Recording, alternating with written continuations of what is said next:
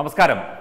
നമ്മുടെ രാജ്യം corona virus എന്ന മഹാവ്യാധിയെ തുരത്തി ഓടിക്കാനുള്ള ത്വരിത ശ്രമങ്ങൾ വളരെ ഊർജസ്വലമായ ശ്രമങ്ങൾ നടത്തി വരികയാണ്. വിവിധ സംസ്ഥാനങ്ങളിൽ നിന്ന് റിപ്പോർട്ട് ചെയ്യുന്നുണ്ട് നിരവധി കേസുകൾ. പക്ഷേ നമ്മൾ ഒരു കാര്യം ചിന്തിക്കേണ്ടിയിരിക്കുന്നു. ഗോവ എന്ന സംസ്ഥാനത്തെക്കുറിച്ച്. ഗോവ ഒരു വളരെ ചെറിയ സംസ്ഥാനമാണ്.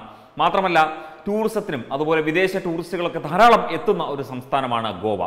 ടൂറിസം ഗോവയുടെ വളരെ പ്രധാനപ്പെട്ട ഒരു വരുമാന മാർഗം കൂടിയാണ്.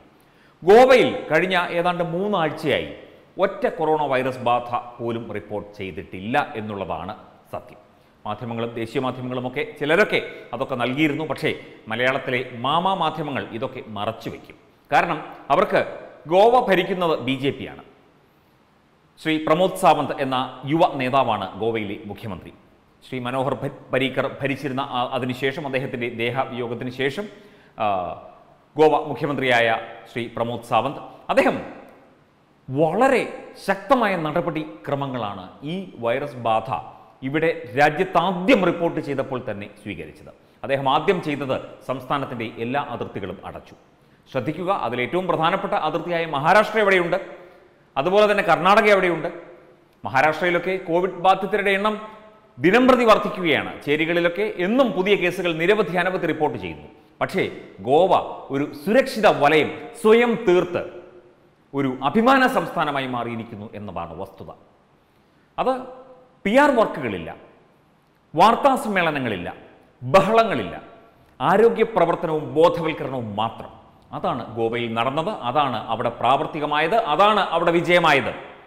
അതിന് ആ യുവ മുഖ്യമന്ത്രി ശ്രീ പ്രമോദ് സാവന്തിനെ നമ്മൾ എത്ര അഭിനന്ദിച്ചാലും മതിയാകില്ല. അതായത് രാജ്യത്തെ ആദ്യ കോവിഡ് വിമുക്ത സംസ്ഥാനമായി ഗോവ മാറുന്നു അതിന്റെ പ്രഖ്യാപനം നാളെയോ മറ്റന്നാളോ ഉണ്ടാകും എന്ന് കേൾക്കുന്നു. തീർച്ചയായും അത് അങ്ങനെ തന്നെയാണ്.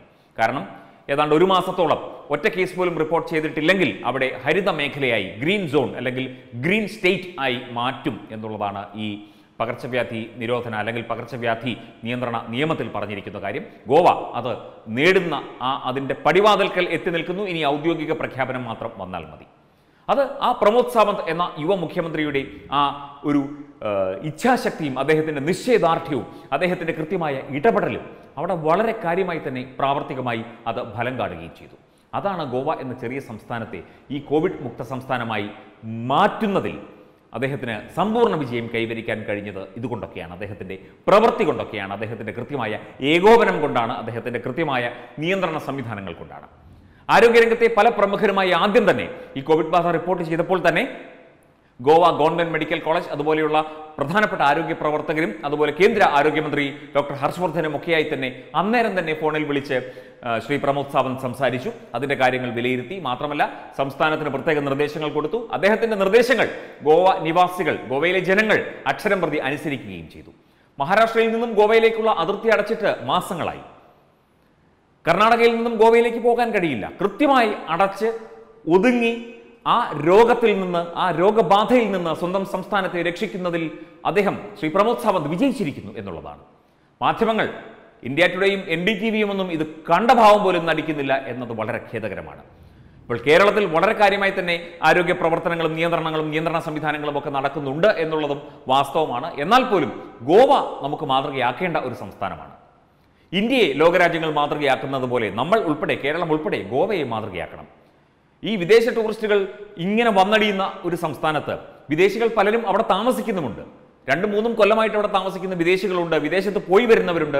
ഇപ്പോൾ ഈ ഒരു നിയന്ത്രണം വരുന്നതിന് മുൻപ് വരെ പോയി വന്നവരുണ്ട്. അതൊക്കെ കൃത്യമായി ക്വാറന്റൈൻ സംവിധാനത്തിലൂടെ അവരെ നിരീക്ഷണ വിധേയരാക്കി അവർക്ക് വേണ്ട ചികിത്സ നൽകി ആ നടപടിക്രമങ്ങളൊക്കെ കൃത്യമായി പാലിച്ചുകൊണ്ടാണ് ഗോവ മുന്നോട്ട് പോകുന്നത്. തീർച്ചയായും അഭിമാനിക്കാം ഗോവയ്ക്ക്.